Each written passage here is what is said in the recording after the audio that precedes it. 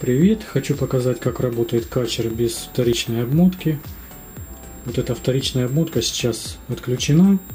Работает только первичная. Ну, транзистор. Вот щуп идет на осциллограф. Ток 0,12 ампер. Сейчас посмотрим, какой сигнал на осциллографе. Так, ну и вот такая вот красивая я как бы синусоида на сигнале осциллографа идет с качера.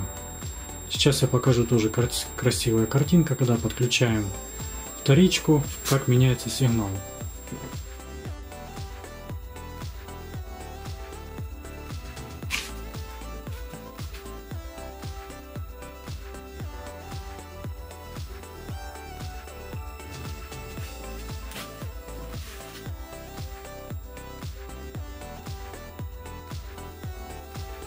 Причем, что интересно, я подключаю не вот эту катушку, а вот эту рядом стоящую. Хотя первичная обмотка намотана вокруг этой катушки. Подаем сюда землю, точнее минус. И катушка начинает работать.